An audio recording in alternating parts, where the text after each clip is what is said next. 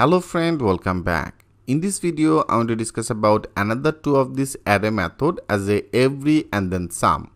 Like I better name it as a array method. Okay, that will be the array array method and array method. Two of this array method I want to discuss about that will be around the every every method. Okay, every method and another will be as a um, some method so now i want to show that things with the live example. Right now i remove everything okay? I remove everything. Like here i take one of the variable as a numbers. And now here that is in our all, all that array data right? So this array here i want to do to check it. Everything is the positive data or the negative data.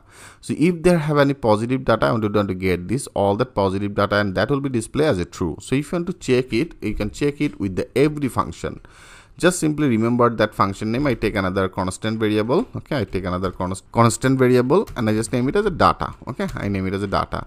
And then now with our numbers and here i want to do want to call that our every function. You can see there is a, one of the method. So there is every method here with this I want to do to check it. I first of all I load one of the functions into this and with the function I want to do to pass one of the parameter as a number. Whatever the name actually choose now I name it as a number. Okay now I want to do to return this number that means from here that is a return return our number right so when this number will be as a greater than zero okay then that will be greater than zero then i want to do and to get all the data so with this every with this every method it should be check every data in our this array is there have any negative number or or not? So right now they have the no negative number right? All that are positive number for the reasons now that should be display which things that should be displayed as a true. Like i check it uh, with the console. Okay console with the console log i want to do to check our this data. Okay i want to do to check it. Now everything will be more clear. Now if you click as a save all now go there click as a refresh and now you can see it's now successfully display as a true.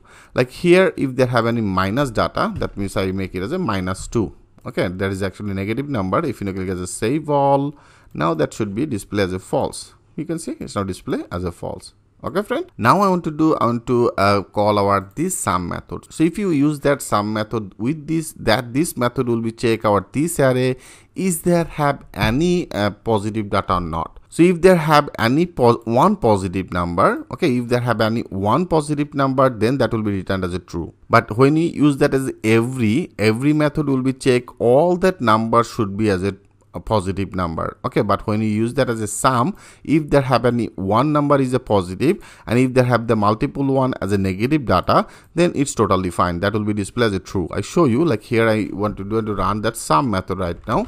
Okay i make it as a some so before you can say i have already used that as every. So if every if there have any negative number one negative number is here but for the reasons it's display as a false. So right now i'm using that our some method. So into this some method area if there have one positive number then that should be displayed as a true. So right now they have the uh, multiple one as a positive number only one is the negative number right? If you now click as a save all and now that should be displayed as a true. Click as a refresh yeah you can see it's now displayed as a true I hope it's get you get some of the idea.